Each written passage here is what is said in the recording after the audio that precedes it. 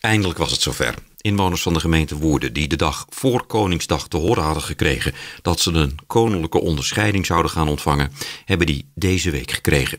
De coronamaatregelen maakten dat de uitreiking niet op de normale wijze kon plaatsvinden.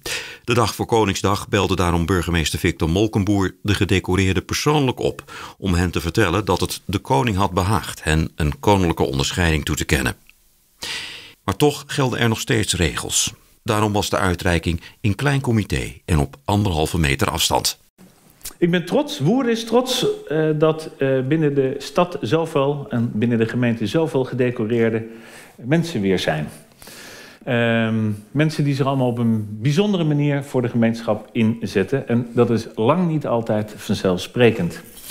En vandaag mogen we 18 mensen een lintje uitreiken.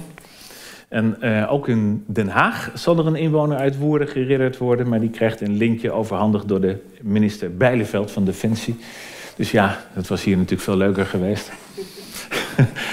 maar goed, uh, het is natuurlijk ook wel leuk als je het lintje van de minister krijgt. De lintjes werden in verband met de coronamaatregelen gespreid uitgereikt.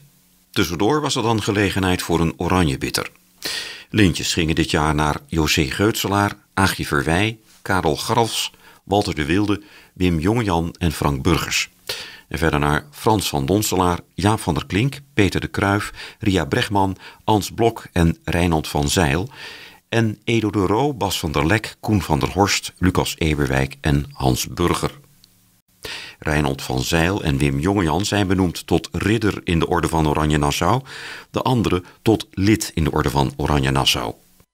Dan wil ik u uitnodigen om even een uh, oranje bittertje, een kopje koffie of wat fris te drinken. Toosten op de koning. Ik wil in ieder geval uh, alle medewerkers van het kabinet bedanken. De bodes, ferm werk. En ieder die uh, allemaal weer heeft bijgedragen om het in drie sessies allemaal weer fantastisch te laten verlopen. Dank daarvoor. Ehm, ik nodig u uit om met elkaar gezellig nog even samen te zijn. Dank u wel. RPL zond de uitzending van de lintjes rechtstreeks uit via internet. Die volledige uitzending is terug te zien via het YouTube-kanaal van RPL.